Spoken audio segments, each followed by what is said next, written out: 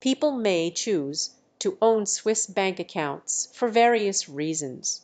Firstly, Switzerland has a long standing history of financial stability and a strong banking system which makes it an attractive option for individuals seeking secure and confidential financial services.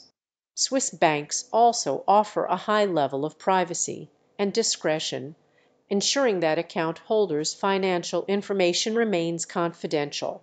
Additionally, Swiss bank accounts allow for easy international transactions and provide access to a wide range of financial products and services.